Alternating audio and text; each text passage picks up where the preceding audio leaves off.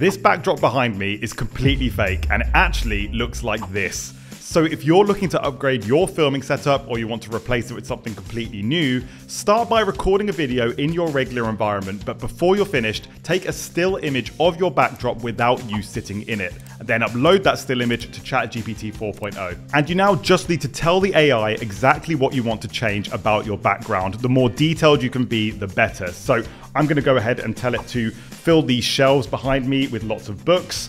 I want to add a green plant behind me, and I also want to replace this black and white painting with a window that has a city view.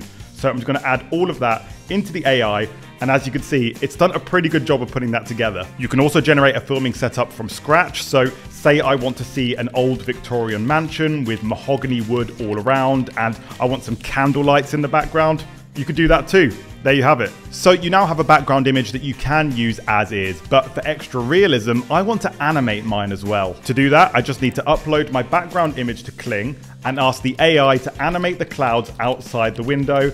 And I'm also gonna make sure that I ask for a 10 second version to use in my background.